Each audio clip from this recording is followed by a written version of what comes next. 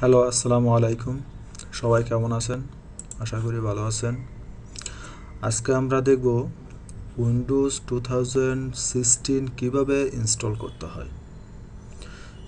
কীভাবে ইনস্টল করতে হয় সেটা আজকে আমরা দেখব। তার আগে আমরা একটা জিনিস দেখে নিই। ভার্চুয়াল ভার্চুয়ালে বিশেষ করে ভিএমওয়ার স্টেশনে কীভাবে একটা মেশিন ক্রিয়েট করতে হয় সেটা আমরা পাশাপাশি দেখে যাব। কীভাবে একটা মেশিন ক্রিয়েট করে আমাদের উইন্ডোজ ইনস্টল করতে হয়। তো আমরা ভিএমওয়ারটা ওপেন করার পরে আমরা এরকম একটা উইন্ডো পাবো। এখান থেকে আমরা ক্রিয়েট ক্রিয়েট ভার্চুয়াল মেশিনে ক্লিক করব। তারপর নেক্সটে ক্লিক করব। আমরা এখানে সিলেক্ট করব I will install the operation operating system later মানে পরও আমরা অপারেটিং সিস্টেমটা পরে অ্যাড করব। আমরা এখন অ্যাড করতেছি না। নেক্সট আমরা এখান থেকে উইন্ডোজ সিলেক্ট করব। তারপর এখান থেকে আমরা Windows two thousand sixteen select করব। Two thousand server, Windows server two thousand sixteen select করব। তারপরে নেক্সট। এখান থেকে আমরা ফাইল লোকেশনটা দেখাই দেবো যে আমাদের ফাইলটা আমরা কোথায় সেভ করব। এই ফাইলটা আমাদের কোথায় সেভ হবে, সেই অপশনটা আমরা দেখাই দেবো এখান থেকে। আমি এখান থেকে অ্যাপ ড্রাইভে দিচ্ছি, এখানে আমি একটা নাম দিচ্ছি, একটা বোল্ডার করে নিচ্ছি, সেটা হচ্ছে যে সার্ভার টু থাউজেন্ড সিক্সটিন। বাস ওকে করলাম। এটাতে আমাদের ফাইলটা সেভ হবে। এখানে আমরা নাম, Windows server two thousand twelve এটাও রাখতে পারি চেঞ্জও করতে পারি, কোনো সমস্যা নেই। তারপর আমরা নেক্সটে ক্লিক করব। এখান থেকে আমাদের যে আমরা যে একটা হার্ড ডিস্ক নেব, এই হার্ড ডিস্কের সাইজটা কী পরিমাণ হবে? মানে কত জিবি হার্ড ডিস্ক আমরা নিব? সেই সাইজটা আমরা দেখাই দেবো। আর এখান থেকে store virtual disk and single file single ফাইলটা সিলেক্ট করলে একটা মাত্র ভার্চুয়াল ফাইল সিলেক্ট হবে ক্রিয়েট হবে। আর মাল্টিপুল দিলে অনেকগুলি ফাইল ক্রিয়েট হবে। আমরা সিঙ্গেল দিয়ে দিলাম। নেক্সটে ক্লিক করব। তারপর আমরা এখানে কাস্টমাইজে যাব। এখানে কাস্টমাইজে গিয়ে আমরা দেখব, আমাদের এখানে র্যাম টু জিবি প্রসেসর একটা DVD writer network net network adapter USB controller sound card এটা আছে, যা আছে আমাদের চলবে। এর বেশি আমাদের দরকার নেই। এখন আমরা ফিনিশ করব। আমাদের একটা ভার্চুয়াল মেশিন ক্রিয়েট হয়ে গেছে। এখন আমরা যদি এখান থেকে এডিটে যাই এডিটে গিয়ে আমরা ডিভিডিতে ক্লিক করব, এখান থেকে আমরা দেখাই দেবো আইএসও ফাইলটাকে যেটা থেকে আমাদের মেশিনটা ইনস্টল হবে। আমরা এখানে ব্রাউজ করে আমরা আরেকবার দেখি। এখান থেকে আমরা ব্রাউজ করব। ব্রাউজ করব কেন?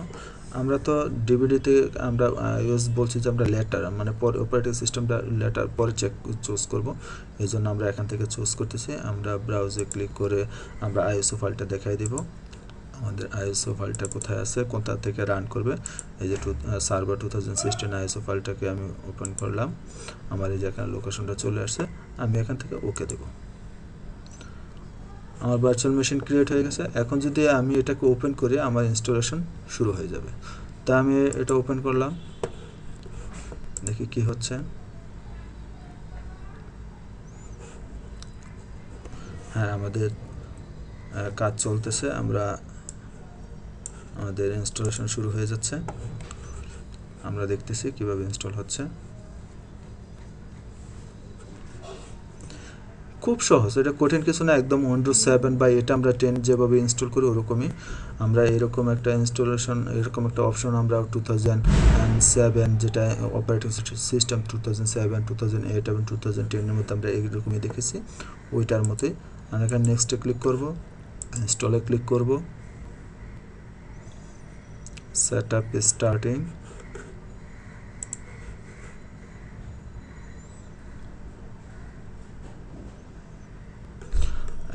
এখান থেকে আমরা ডাটা সেন্টারটাকে সিলেক্ট করব। Data centre regulation desktop sixty four bit data centre regulation enterprise আমরা ডাটা সেন্টারটাকে সিলেক্ট করে নেক্সট করব। অ্যাকসেপ্ট লাইসেন্স নেক্সট কাস্টমাইজ আমাদের যে আমরা ষাট জিবি যে হার্ড ডিস্কটা নিয়েছিলাম, সেই হার্ড ডিস্কটা আমাদের এখানে দেখাচ্ছে আমরা এই হার্ড ডিস্কটা সিলেক্ট করে নেক্সটে ক্লিক করব।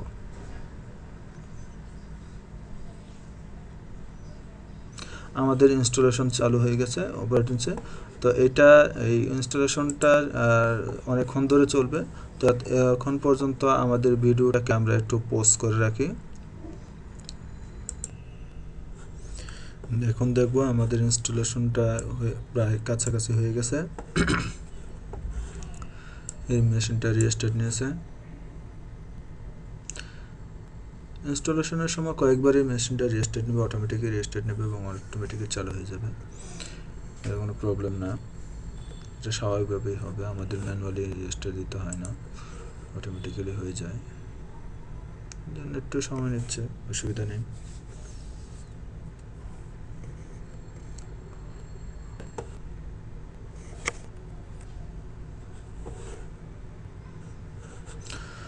চলে আসছে। যেটা করব, এখন আমরা যে পাসওয়ার্ডটা দেবো, এটা হবে আমাদের সার্ভার অ্যাডমিনিস্ট্রেটিভ পাসওয়ার্ড অর্থাৎ এই পাসওয়ার্ডটা আমাদের একটু খুব ঠান্ডা মাথায় দিতে হবে এবং খুব মনে রাখতে হবে পাসওয়ার্ডটা পাসওয়ার্ডটা করা যাবে না।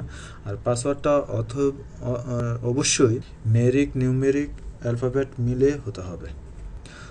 তা আমরা পাসওয়ার্ড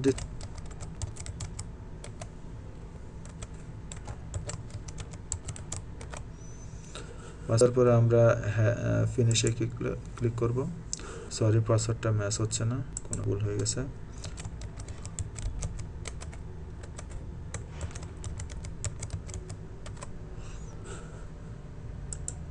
হ্যাঁ হয়ে গেছে। একটু ওয়েট করি। আমাদের ইনস্টলেশন কমপ্লিট হয়ে গেছে। আমরা এই যে এখান থেকে আমরা কন্ট্রোলটার ইনসার্ট চাপ দেব, কারণ ভার্চুয়ালি আমাদের ইনসার্ট কাজ করে ডিলেট কাজ করে না। আমরা পাসওয়ার্ড দিয়ে লগ ইন করব।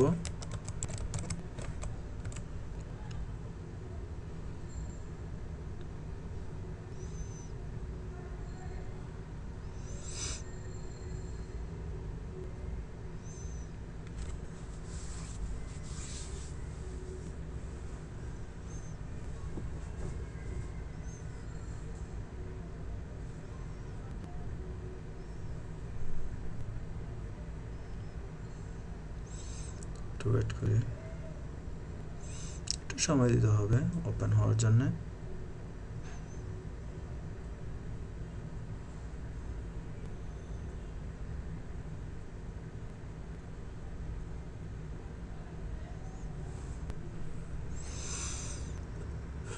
চালু হয়ে গেছে।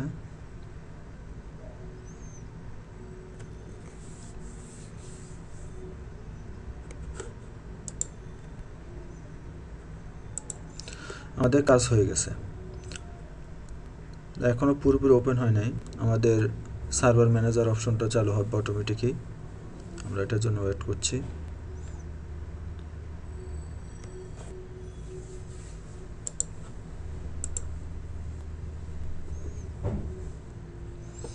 অথবা আমরা এখান থেকে চালু করতে পারি। সার্ভার ম্যানেজার এই যে সার্ভার ম্যানেজার হয়ে গেছে অলরেডি আমরা ক্লিক না করলেও হয়তো।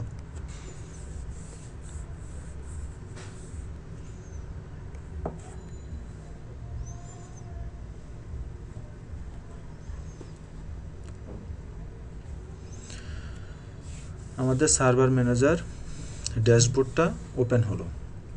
এখানে আমরা কিছু কাজ করব।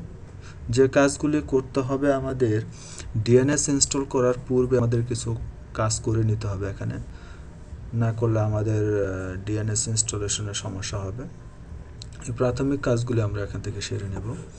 এই জন্য আমরা লোকাল মেশিনে ক্লিক করব। আমরা এই যে এখানে দেখি, এখানে আমাদের কয়েকটা অপশন আছে dashboard local machine all server file server file storage এগুলো আমরা লোকাল মেশিনে ক্লিক করব। লোকাল মেশিনে ক্লিক করলে আমরা আমাদের এখানকার ইনফরমেশনগুলো আমরা দেখতে পাচ্ছি। আমাদের ইনফরমেশনগুলো এখানে আমরা দেখতে পাচ্ছি। এখান থেকে আমরা যেটা করব, আমরা প্রথমে ফায়ারওয়ালটাকে অফ করে নিব।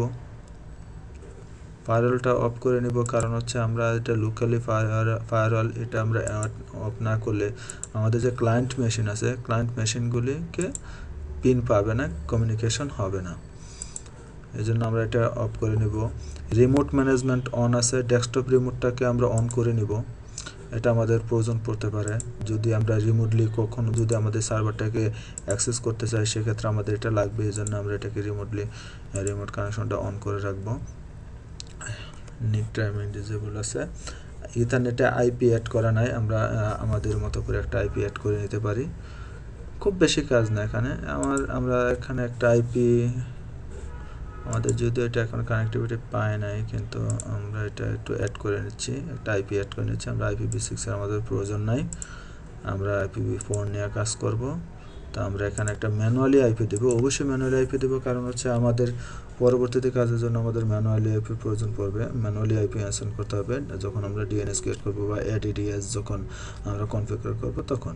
তো আমরা এখানে আইপি দিচ্ছি one nine two one six eight one two দিলাম। আমরা ডিএনএস এ যেহেতু এটার মধ্যে আমরা ডিএনএস ক্রিয়েট করব সেই জন্য এটার এই আইপিটাই আমরা ডিএনএস হিসাবে দিতে পারি। কোনো প্রবলেম নাই। Sorry okay